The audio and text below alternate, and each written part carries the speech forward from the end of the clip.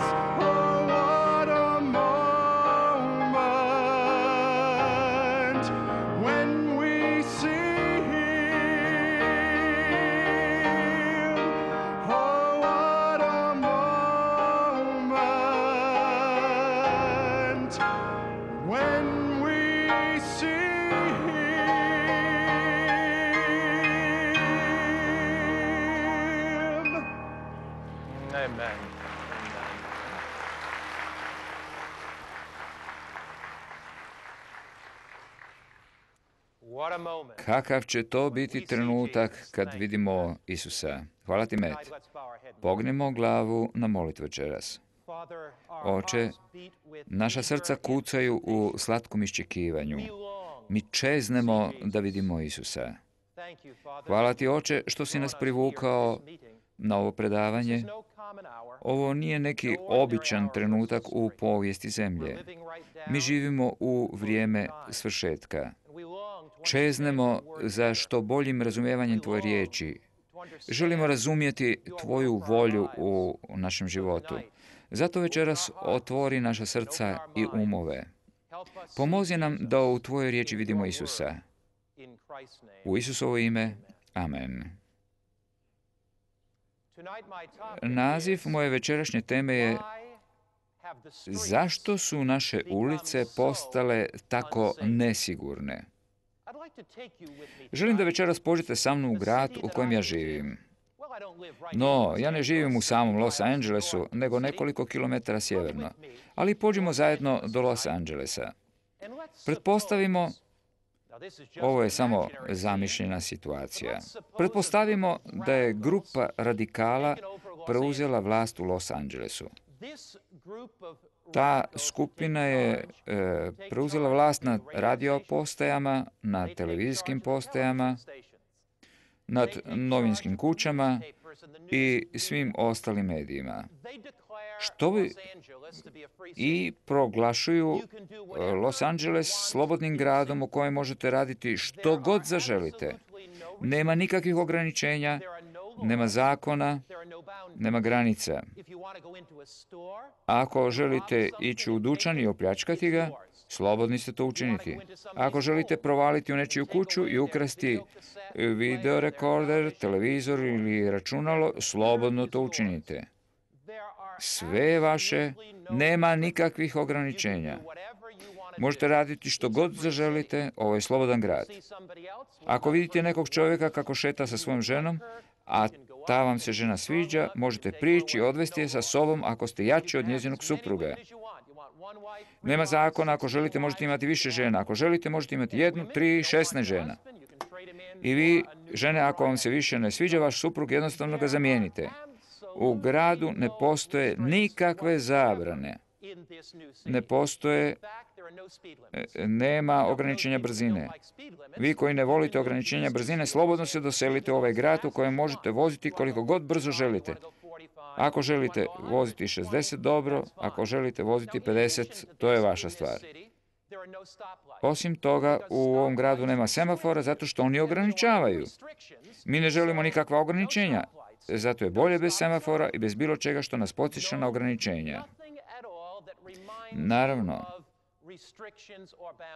budući da su uklonjena i sva druga ograničenja, radikali izjavljuju da je ukinuto i deset zapovjedi. One su zastarile, previše ograničavaju.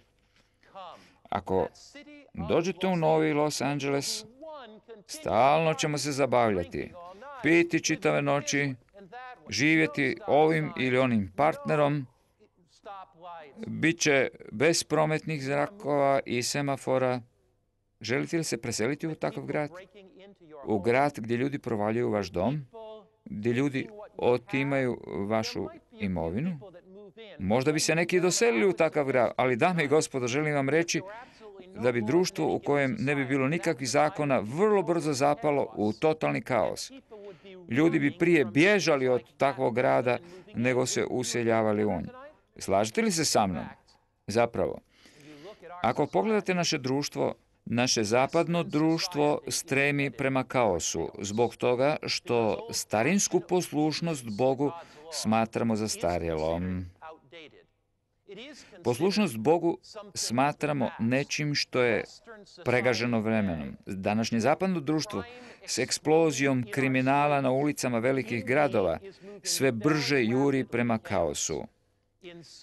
Postoje dijelovi gradova u koje policija ne želi ući. Kaos, zapadni gradovi, e, dijelovi gradova kao da su potpuno napustili moralna načela. Izgleda kao da su napustili veze moralnosti. Amerika postaje vrlo, vrlo nasilno društvo. Sve više se povećava broj ubojstava i u gradovima i u predgrađima. Sve veći porast zlouporabe droge, na primjer kokaina. Sadašnji politički izbori u Sjedinjenim američkim državama između predsjednika Billa Clintona i njegove izazivača senatora Boba Dolea usredotočeni su na dvije stvari. Porast kriminala, naročito droga, i ekonomiju. Suočeni smo s društvom koje se zasniva na bezakonju. U velikim gradovima izbijaju pobune. Sjećam se prije nekoliko godina pobuna u Los Angelesu, nakon što su sudac i porota donijeli nezadovoljavajuću presudu u vezi s određenim slučajem. Los Angeles je tada gorio. Kriminal se danas sve više razbuktava u velikim gradovima i prijeti da izbjegne kontroli. Amerika postaje skladište oružja. U Sjedinjenim američkim državama godišnje se dogodi više od 23 tisuće ubojstava. Ovo nije karakteristično samo za Ameriku, nego i za sve velike svjetske gradove. Ovo vrijedi i za istočnu Europu. Sve je veća zlouporaba droga i na zapadu i na istoku. Naše društvo postaje kaotično. Situacija sve više izmiče kontroli. Povećava se stopa seksualnog promiskuiteta, kriminala, zlouporebe droga. Podižu se revolucije pobune. Što stoji iza svega toga? Kako objasniti ovu sveopću eksploziju nasilja u našem društvu? Kad bismo razmaknuli zavisu, vidjeli bismo što je prouzročilo ovaj porast nasilja u našem društvu. Možda će nam pomoći jedno predavanje koje je 60. godina ovog stoljeća održao čovjek po imenu e, Joseph Fletcher. On je tada, prije 30. godina, e, izjavio nešto što je postalo lozinkom današnjeg društva. Fletcher je izjavio sljedeće. Zapravo ne postoji moralna ispravnost ili moralna neispravnost. Ono što je ispravno ili neispravno određuje samo vaša savjest. Ako ne vjerujete da je nešto pogrešno, tada to i nije pogrešno. Ako ne vjerujete da je nešto moralno pokvareno, tada to i nije nemoralno. Rekao je da se svako ljudsko biće treba vladati u skladu sa svojom savješću. Rekao je da preljub nije uvijek negativan, da neki put može biti i pozitivan. Rekao je da krađa nije uvijek loša, da ponekad može biti i dobra. Fletcher je izjavio da uzaludno spominjanje Božeg imena nije uvijek pogrešno. E, rekao je da naš um najbolji vodič u procjeni i da ne postoji drugi smjer u našem životu osim onoga kojeg sami odaberemo. Dame i gospodo, želim vam reći da je upravo ovo problem današnjeg društva. Izgubili smo smisao za pravo i krivo. Izgubili smo naše moralne smjernice. Zbunjeni smo i ne znamo kojim putem krenuti. Jeste li vidjeli onaj članak u novinama neki dan? On tako dobro opisuje naše društvo. Jedan čovjek je uputio pismo vlasniku hotela u kojem je namjeravao provesti godišnji odmor. U pismu je pisalo, dragi gospodine, ja posjedujem vrlo dobro dresiranog psa. On je vrlo odgojen i poslušan. Htio bih dovesti svog psa u vaš hotel. Hoćete li dopustiti da moj pas spava u mojoj sobi? Vlasnik hotela je vrlo brzo dao odgovor. U njemu je stajalo, dragi gospodine, Nijedan pas u mom hotelu nikad nije ukrao ručnik. Nijedan pas nije ukrao sliku sa zida. U mom hotelu pas nikad nije krao posteljinu. Nikad se nije pojavio pas kojeg sam morao izbaciti u sred noći zato što je bio pijan i stvarao buku. Nikad nisam morao izbaciti psa iz svog hotela zato što se tukao s drugim gostima u svojoj sobi. Nijedan pas mi nije nikad pobjegao ne plativši račun. Da, gospodine, dovedite svog psa.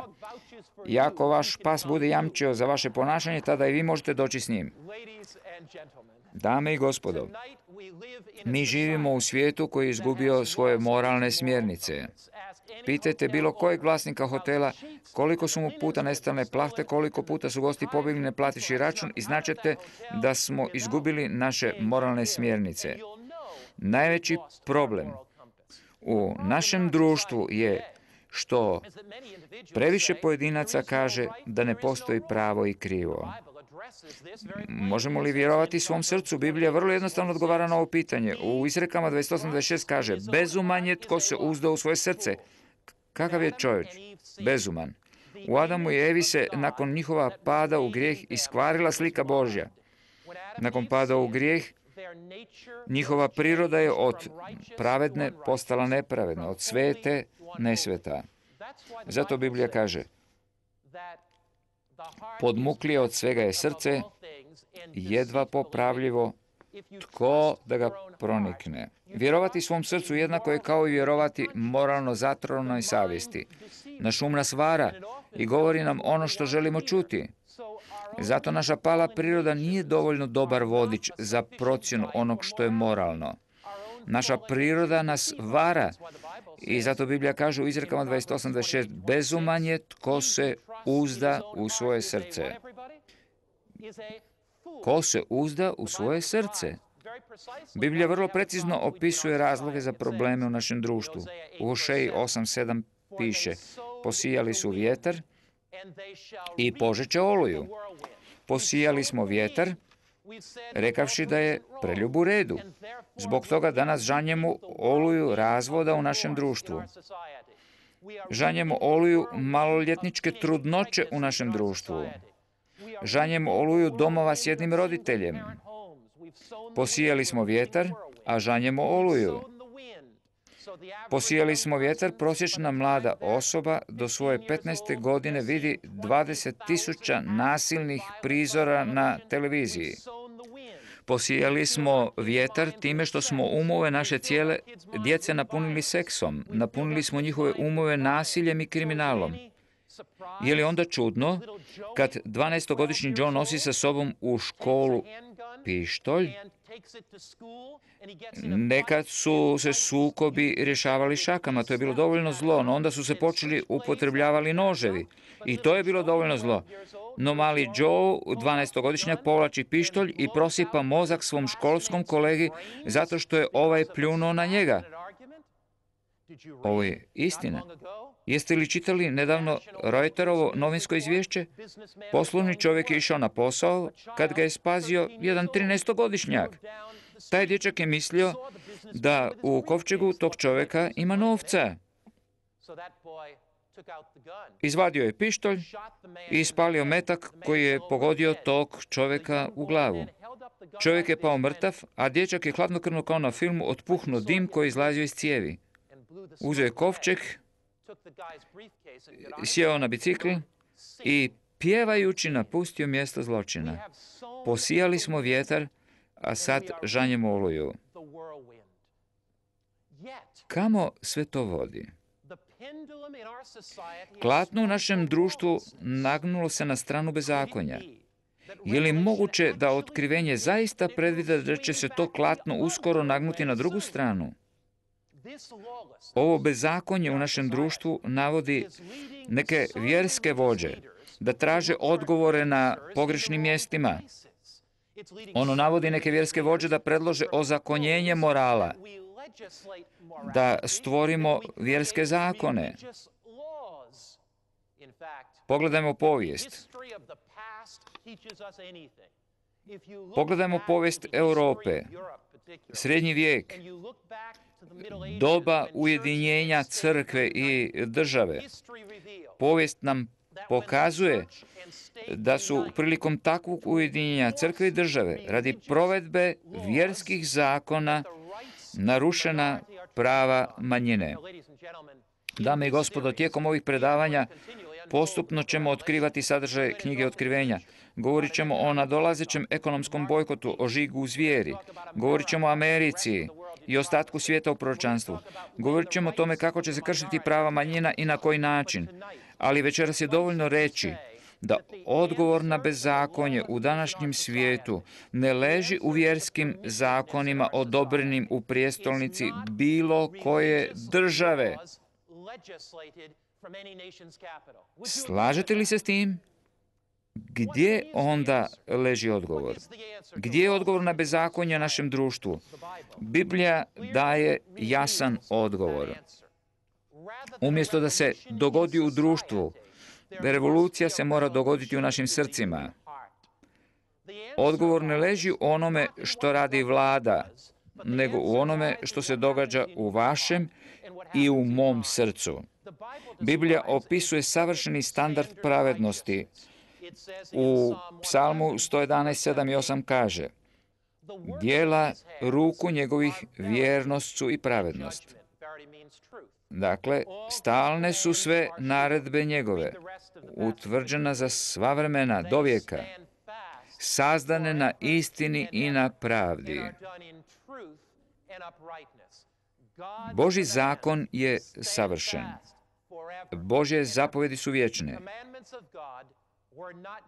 Njih nije ostavila neka drevna, propala civilizacija. Biblija kaže da Bože zapovjedi vrijede za sve ljude, za sve generacije. U psalmu 19.7 stoji Savršen je zakon Jahvin, dušu krijepi. U društvu koje je odbacilo Boži zakon, kaže, moj savjest je moj vodič, a društvo koje kaže da ne postoji nikakva moralna ograničenja, za njih odzvanjaju riječi zapisane u Biblije.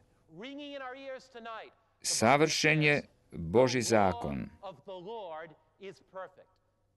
Boži zakon su deset zapovedi koje ovom svijetu otkrivaju Boži standard pravednosti. Znači, čak i sad, pri kraju 20. stoljeća, još uvijek postoji nešto po čemu možemo procijeniti dobro, a što zlo.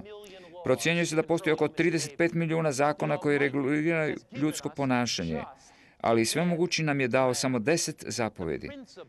Načela Božeg zakona su vječna. Boži zakon određuje što je krivo, a što pravo. Pravo i krivo ne određujemo mi svojim umom. Ono je određeno e, pomoću deset zapovjedi. Boži zakon je vječan. Bog je te zapovjedi vlastitim prstom zapisao na kamenim pločama. U cijeloj Bibliji postoji samo jedan etički kodes, samo jedan zakon zapisan prstom Božim, a to je deset zapovjedi. One su bile uklesane u kamen. Nisu bile napisane na pjesku da ih prvi val može obrisati ili na komadu papira da mogu izgorjeti. One su zapisane na kamenu. One su vječne, trajne, zapisane Božim prstom. Dame i gospodo, Bogu je deset zapovjedi toliko važno da čak nije dopustio ljudima da ih zapišu. Čitavo pismo je nadahnuto. Pavao kaže Timoteju, Božja riječ je nadahnuta dana čovjeku. Bog je nadahnuo proroke da napišu njegovu volju. Bog čak nije njima povjerio da zapišu deset zapovjedi. One su bile toliko važne, toliko značajne, da ih je sam Bog zapisao svojim prstom kao vječni etički kodeks za sva vremena i za sva društva. Zapravo, Boži zakon je temelj nebeske vladavine. Vidite li zašto Sotona toliko mrzi Boži zakon? Da on napada Boži zakon.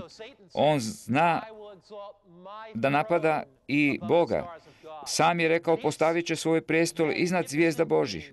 Ovaj veličanstveni anđeo objavio je da nije potrebno slušati Boga. Izjavio je da poslušnost nije potrebna. Sotona je zbog neposluha izgubio svoje mjesto na nebu, kao i trećina anđela koji su pošli zajedno s njim. Sotona je tada došao pred vrata planeta zvanog Zemlja. Iste laši iznio je i Adamu i Evi. Ne trebate slušati Boga. Adam i Eva su izgubili savršen dom zbog krađe.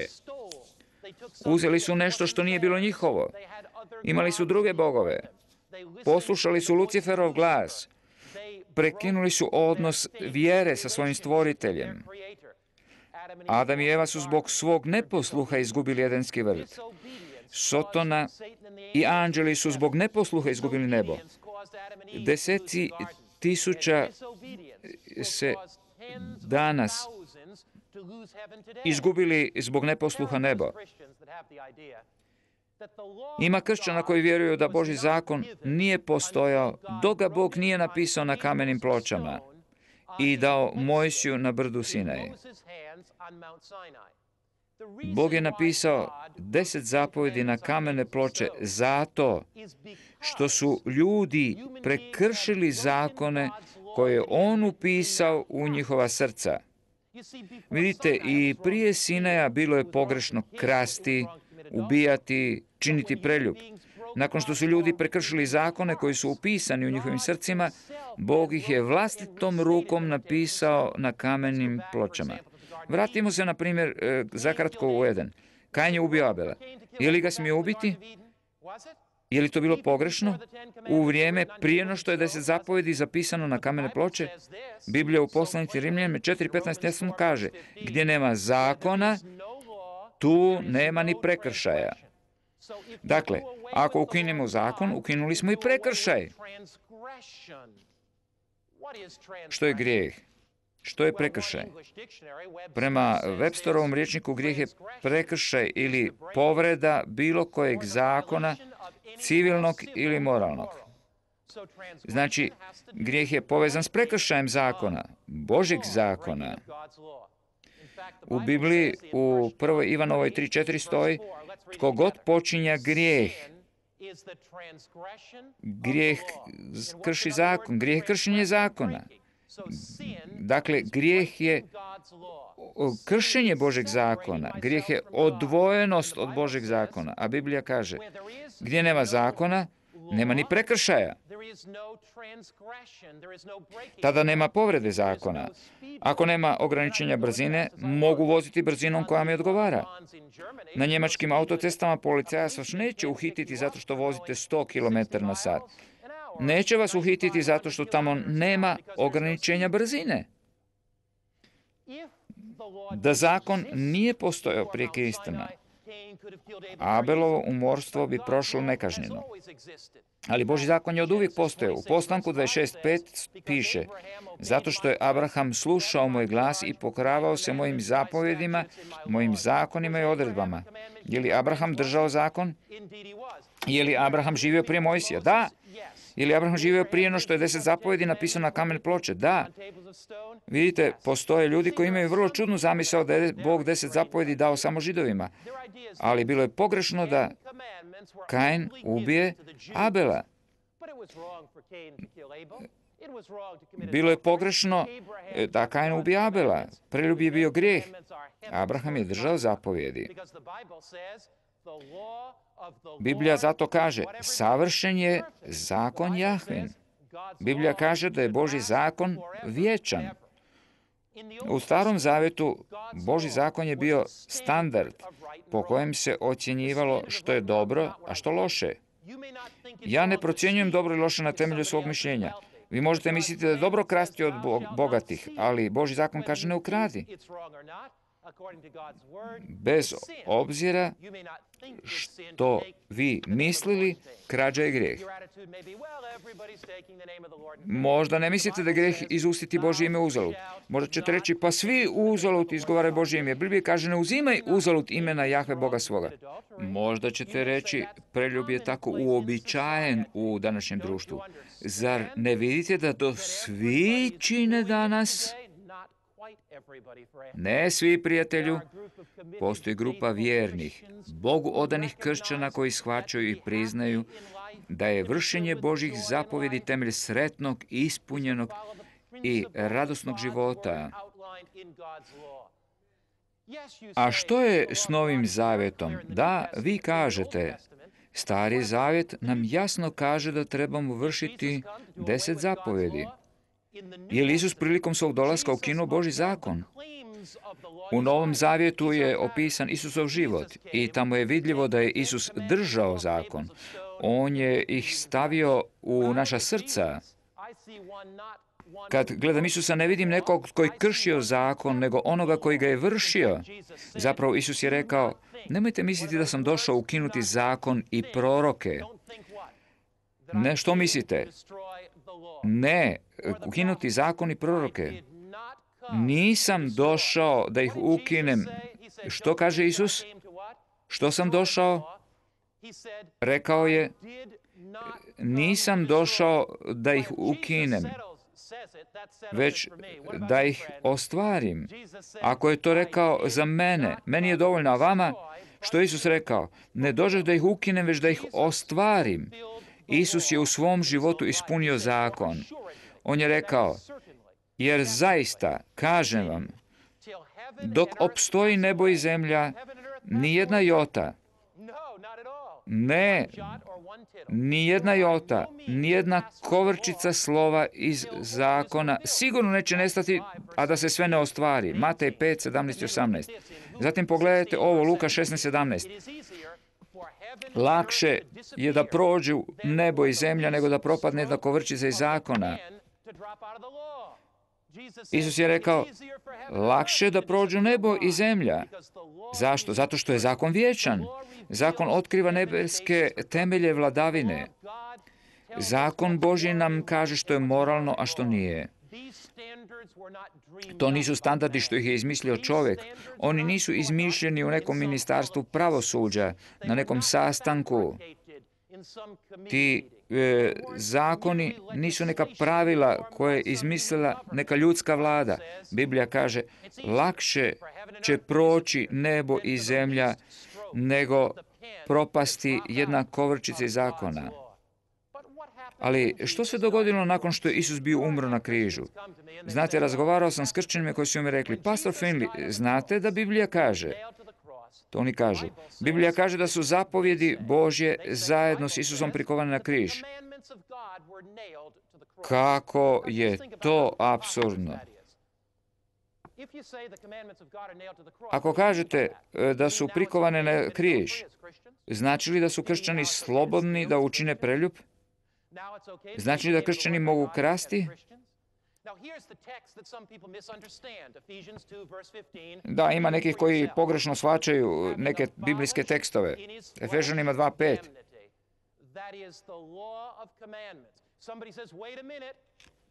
Čekajte malo, rekao je neko. Zakon je ukinut. Prijatelji, drago mi je što možemo dalje čitati. Tim što uništi zakon zapovedi s njegovim odredbama, što je bilo prikovano na križ. Kaže li da je deset zapovedi prikovano na križ? Kaže zakon zapovedi s njegovim odredbama. Dakle, na križu što je bilo prokriveno? Vidite, na križu je okončan sustav ceremonijalnog žrtvovanja. To su bile odredbe o žrtvovanju životinja za očišćenje grijeha. One su ukinute zbog toga što je Isus Krist, Mesija, umro na križu. Na križu sigurno nije uništeno deset zapovjedi, nego zapovjedi koje su se ticale žrtvenog sustava koji je ukazivao na Isusov dolazak.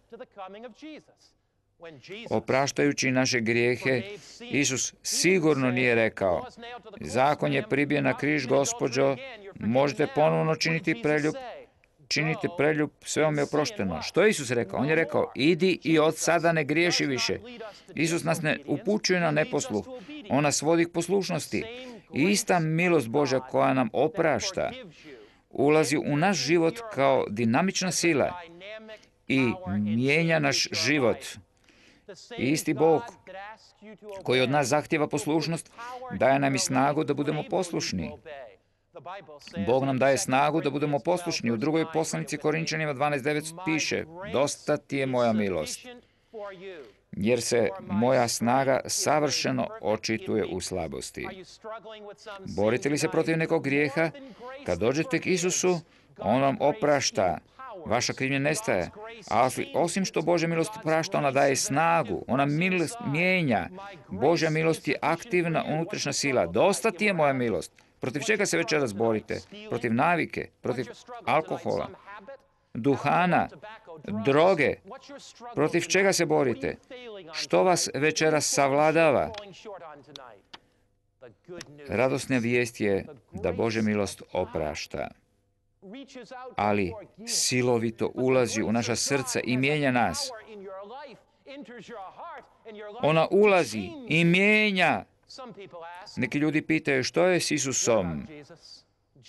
Isus uvijek vodi poslušnosti, nikad k neposlušnosti.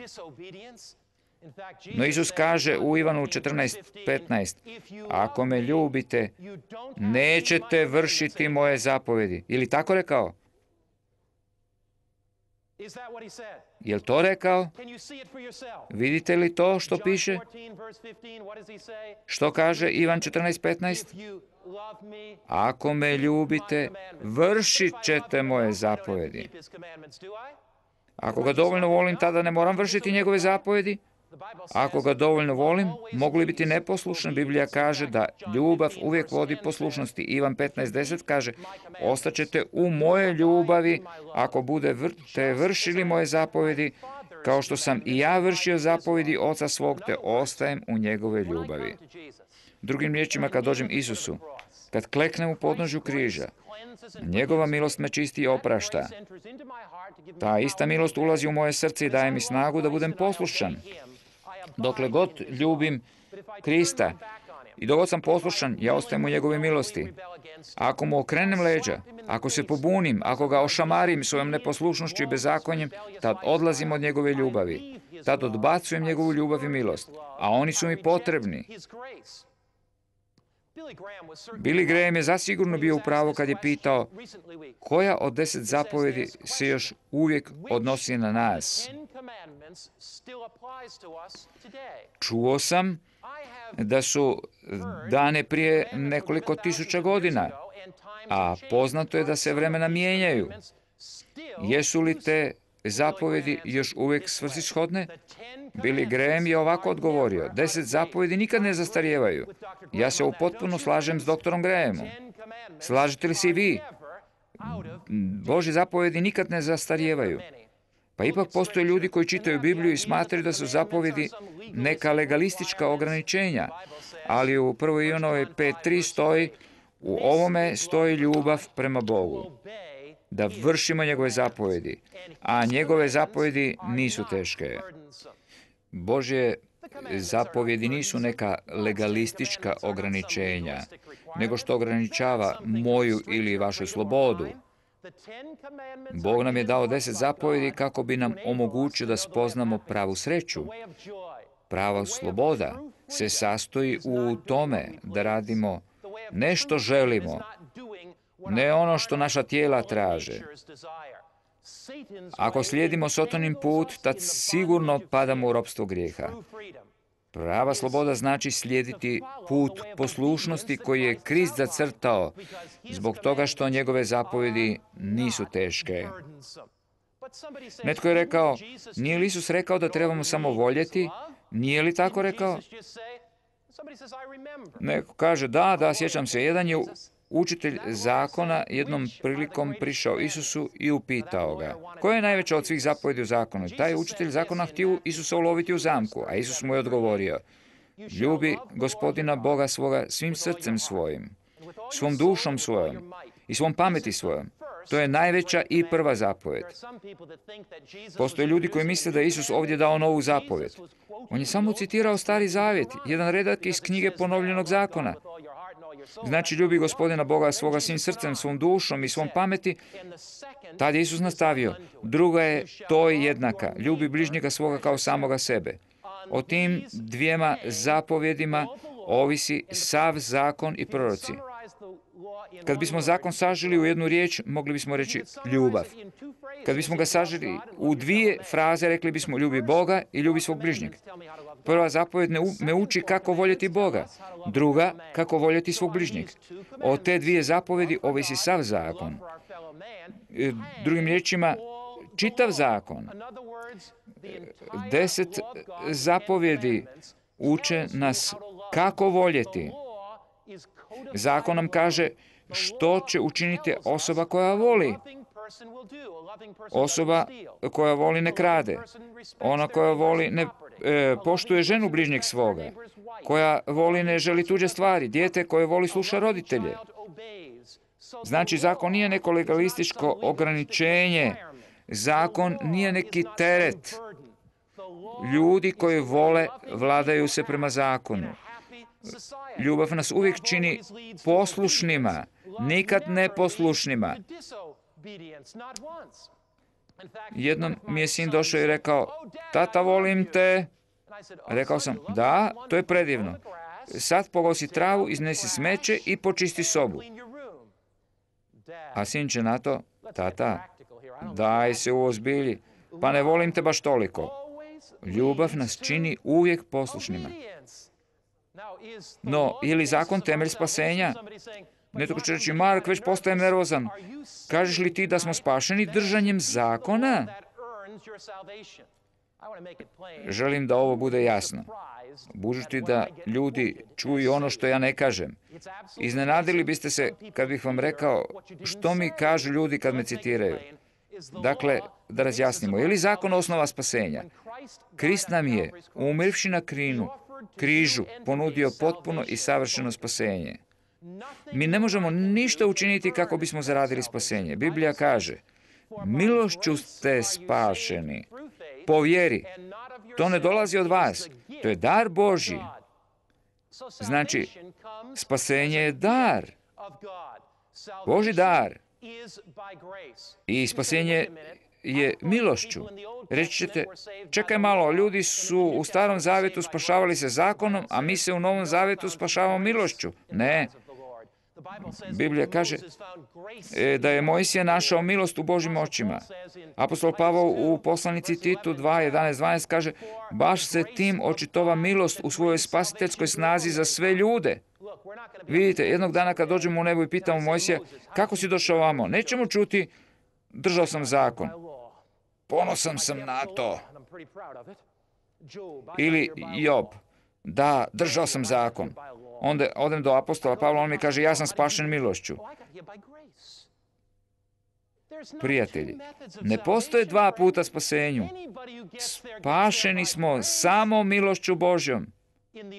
U starom zavjetu je Mojsija, Danijela i oba spasio Krist koji je trebao doći. Oni su unaprijed gledali njegovu milost.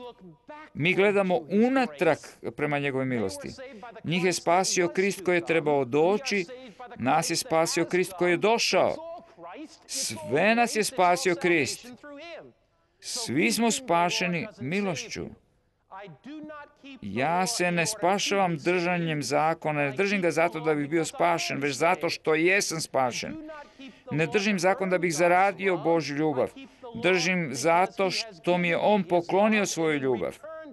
A ja mu mogu uzvratiti samo svojom ljubavlju i službom. Milost uvijek vodi poslušnosti. Mislite li da vas milost vodi neposluhu? Mislite li da vas vodi da kršite Boži zakon? Ne, prijatelji. Što ga više volite, odanije ćete mu služiti. Neki su zbunjeni, oni kažu, ne učili Biblija da više nismo pod zakonom. Pogledajmo pozorno biblijske tekstove. Želim vidjeti koliko ste dobri učenici. Nemojte mi odgovoriti ono što mislite da ja želim čuti, nego odgovorite e, odgovorom koji proizlazi iz biblijskog teksta. Što to znači biti pod zakonom i učili Biblija da nismo pod zakonom? Pogledajmo tekst koji nam o tome govori. Rimljanima 6, 14 i 15. Grijeh naime neće gospodariti nad vama, jer niste pod zakonom, već pod milošću. Uči li Biblija da nismo pod zakonom? Piše li tako? Neki se među vama kolebaju i kažu nismo sigurni. E, neki nisu sigurni. Ne brinite onome što ću ja reći. Grijeh, kaže Biblija, neće gospodariti nad vama jer niste pod zakonom, već pod milošću. E, kaže li Biblija da nismo pod zakonom? Da, kaže. Biblija kaže da nismo pod zakonom. Ali kaže li ona, budući da nismo pod zakonom, možemo ga slobodno kršiti? Ne, Biblija ne kaže tako. Pa, šta kaže? Pa što, da griješimo? E, trebamo li, kad nismo pod zakonom, pod milošću, daleko od toga? Pavao kaže, ako mislite da možete kršiti Boži zakon ako niste pod njim, totalno ste u krivu. Jer Pavao kaže, šta znači biti pod zakonom? Šta znači? To znači ovo. Kao da kažemo Bogu, Bože, ne trebam Tvoju milost. Bože, ne trebam križ. Ja mogu biti spašen svojim dijelima. Moja su dijela dovoljna. Ja ću se sam spasiti. Ako je to moj stav, tad sam pod osudom zakona zato što moj život nije savršen, zato što sam sagriješio, zato što sam prekršio Boži zakon. On me osuđuje za prekršaje. Dakle, biti pod zakonom znači prihvatiti zakon kao sustav spasenja i pokušati se spasiti vlastitim dijelima. Ko mi to ne uspije, izgubljen sam. No, biti pod milošću znači nešto sasvim drugo. Budući da sam prekršio Boži zakon, svaki pokušaj spasenja zakonom rezultirat će smrću. Biblija kaže da je smrt plaća za grijeh. Znači, biti pod milošću znači doći k Isusu. Zapazite što Biblija kaže. A znamo da sve što zakon veli, veli onima koji su pod zakonom, da za njeme sva usta i da cijeli svijet bude podvrknut kazni Božje. Jer nikoga neće opravdati pred njim vršenje zakona. Zakon u istinu služi samo točnoj spoznaji grijeha. Rimljanima 3, 19 i 20. Tako Biblija kaže da se ne možemo opravdati vršenjem zakona. Zakon nas ne može spasiti. Zakon kaže ovo je dobro, a ovo nije dobro. Zakon kaže to je grijeh, Zakon sliči na ogledalo. Pretpostavljam da popravljam auto i sav se zamrljam po licu, tako da imam malo masti ovdje, malo na vrhu nosa i malo na bradi. Ulazim u kuću i grlim svoju suprugu. E, grlim je, hoću je poljubiti, a ona mi kaže, dragi, imaš masti na nosu i mene si zamastio trljajući svoj nos o moj.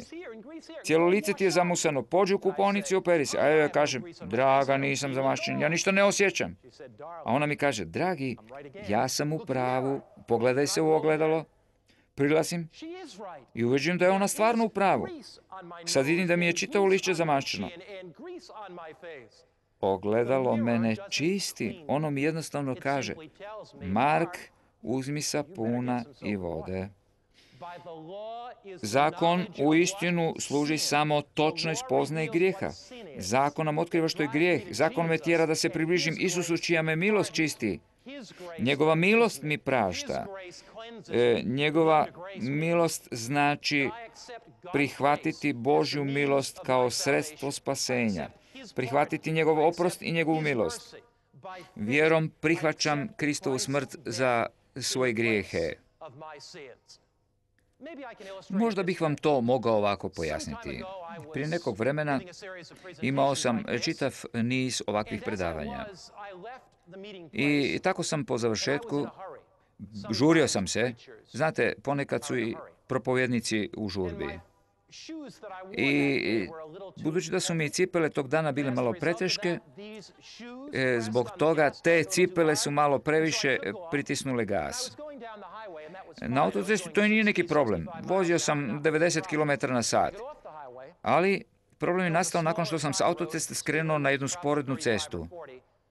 Ne smanjivši brzinu. Išao sam 30 km brže nego što je dopušteno. A, vjerojatno malo prebrzo. No jedan od onih momaka obučenih u plavo odjednom se ukazao i počeo ovako mahati palicom. Pitao sam se, znate, pitao sam se što sad taj hoće. Budući ga nisam prepoznao, zaustavio sam, izašao iz automobila a on mi je rekao, dajte mi vašu dozvolu. Želim vidjeti vašu dozvolu.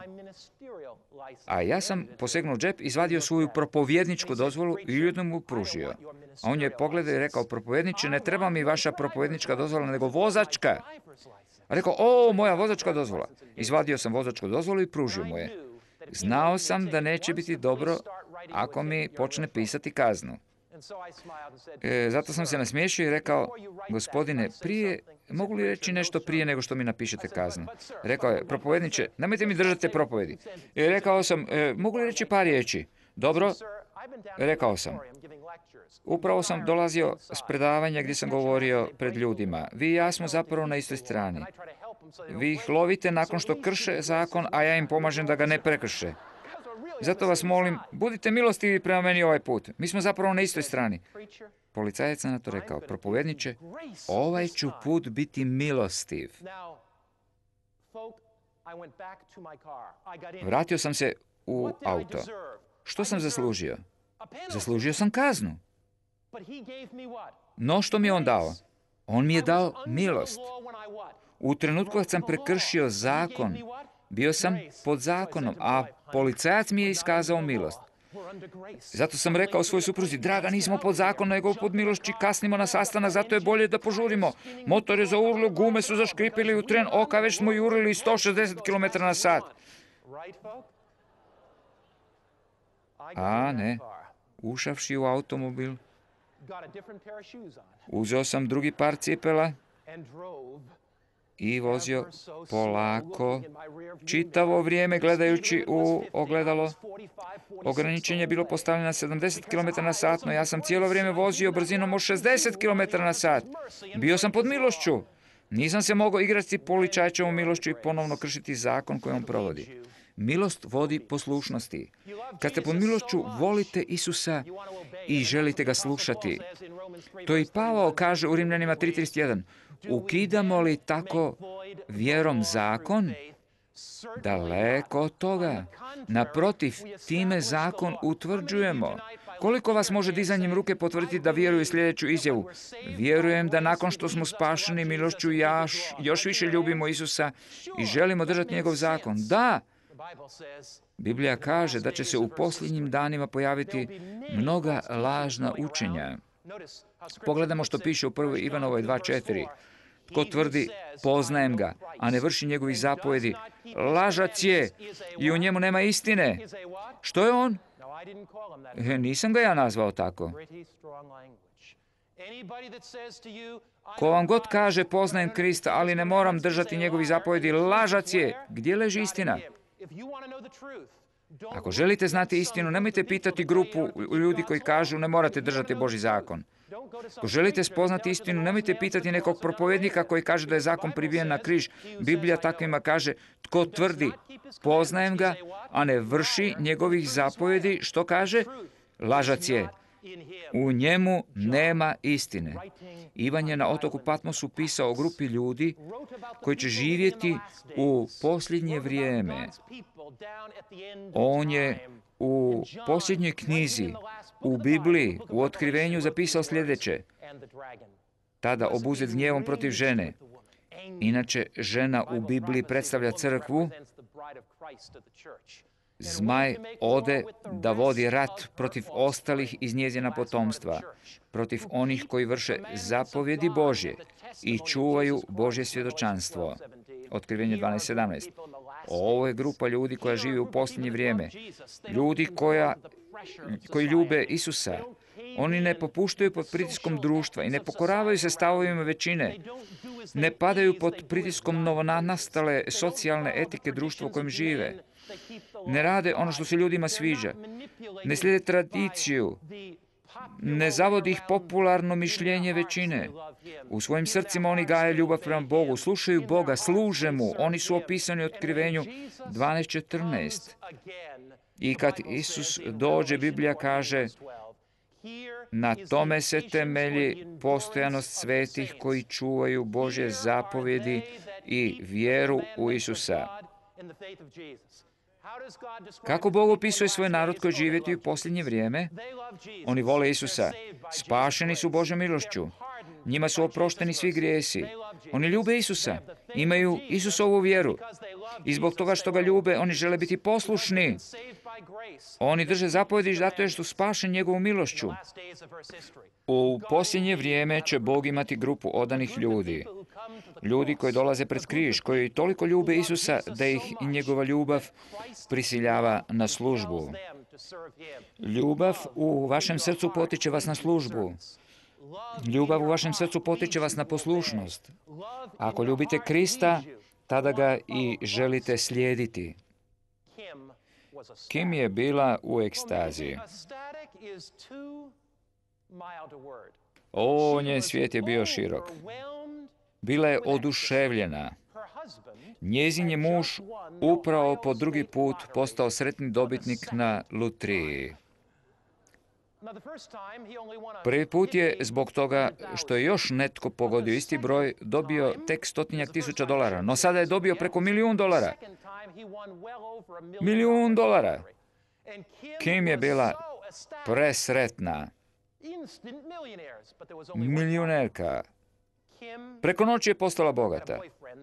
No, postojao je jedan problem. Kim je imala ljubavnika. U redu imati dečka ako niste već udani, ali djevojku ako niste već oženjeni. Ali Kim se viđala s drugim muškarcem. Sadašnja e, situacija je za nju predstavljala problem. Željela je novac, ali ne i svog supruga. Zato je donijela odluku. Odlučila je iznajmiti plaćenog ubojicu. No, dok se telefonski dogovarala s kriminalcima o pojedinostima ubojstva, njezin 21-godišnji sin, koji je u to vrijeme jeo u kuhinji, slučajno je čuo razgovor i shvatio o čemu se radi. Odmah je rekao ocu što majka planira učiniti. Rekao je, tata, ne znam znaš li to, ali majka se viđa s drugim muškarcem i planira tvoje ubojstvo. Otac je odmah otišao na policiju i objasnio čemu se radi. Da.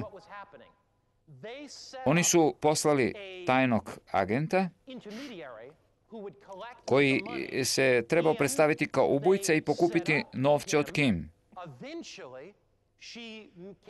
U trenutku kad je ona došla s novcem, čovjek koji se predstavio kao ubojica, predstavio se kao agent FBI i uhapsio je.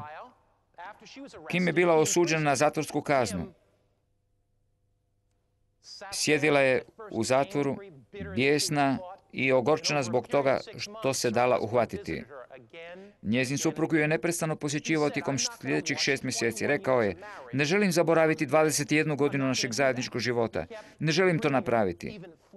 Donosio joj je cvijeće i darove u zatvor. Nije htio odustati. Povukao je zapravo sve optužbe protiv nje i novcem dobivenim na lutriji platio jamčevinu kako bi ona mogla izići iz zatvora. Kim bi bila slomljena. Počela je plakati i jecati. Zagrlila je svog supruga. Bila je prepuna radosti i rekla je Platio si jamčevinu zato da ja ne moram biti u zatvoru. Zaslužila sam da ostanem u zatvoru. Zaslužila sam provesti čitav život ondje. Zaslužila sam čak i smrt. Za ovih ću te voljeti. Za uvijek ću te voljeti. Za moj život također je plaćena jamčevina. Zaslužio sam smrt. Zaslužio sam za uvijek otići u grob. Biblija kaže da je plaća za grijeh smrt. Moje srce sebično, moj um sebičan. Osuđen sam na smrt kao grešnik. A Isus je izbavio. On je visio na križu probodenih ruku, dok je krv tekla niz njegova zapešća. Njegov je Bog bio proboden kopljem. Njegova su stopala bila probodena čavlima. Na glavu nabijena trvanava kruna. Krv je ljevala niz njegovo lice. On je na križu rekao, svršeno je. Moje je spasenje u punini izvršeno. Na križu je milost i oprost. I dok lećim pred tim križem i gledam Isusove oči pune ljubavi, dok gledam njegove ruke koje su pružene radi mene, ja se bacam pred njegove noge, a ljubav mi vodi poslušnosti. Ljubav me tjera da mu služim i da kažem, gospodine, upujiši svoj zakon u moje srce tako da ga zavolim. Upiši svoj zakon u moj um tako da ga budem svjestan. Gospodine, učini sve što ti želiš. Želim ti služiti, gospodine. Znam kome sam vjerovao i siguran sam da me On može sačuvati. Znam kome sam vjerovao. Gospodin Isus Krist mi je dao svoju milost. On me spasio. On me očistio. Znam kome sam vjerovao. Moj gospodin će ući u moj život i dati mi snagu da mu mogu služiti. Možda posrčete, možda padate, možda kažete Božji je zakon presavršen, nikad ga neću uspjeti držati. Isti Bog koji vas poziva na poslušnost daje vam i snagu da budete poslušni. Ovaj Bog će promijeniti vaš život. On će vas obnoviti. On će omekšati vaša tvrda srca. On će uzeti sve vaše slabosti i ojačati vas. On će vas u krhost spojiti sa svojom snagom. On će skršiti okove koji vas putavaju. On će vas učiniti pobjednicima u borbi. Večeras posegnite za njim i uhvatite za njega dok Jennifer i Matt pjevaju. Znam kome sam vjerovao. I know not why God's wondrous grace to hath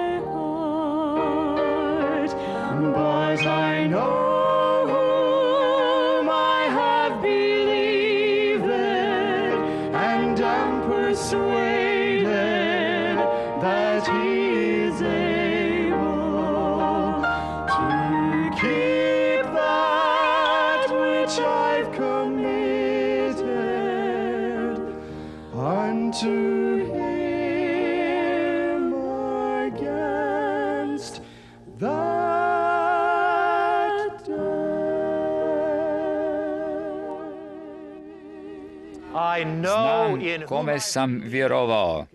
Večeras možete otići uvjereni da vas On vodi za ruku. Pomolimo se. Oče, mi ti večeras zahvaljujemo na Tvojoj milosti. Zahvaljujemo ti na milosti i oproštaju. Ali mi smo ti zahvalni i na tome što nas tvoja milost vodi k poslušnosti, k želji da održimo tvoj zakon. Mi te toliko volimo da ti želimo služiti.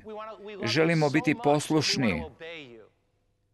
Daj nam sigurnost da ćeš ti, ako vjerujemo u tebe, naše slabosti učiniti snagom i da ćeš nas učiniti pobjednicima, tako da ti možemo vječno služiti. U Isusovo ime. Amen.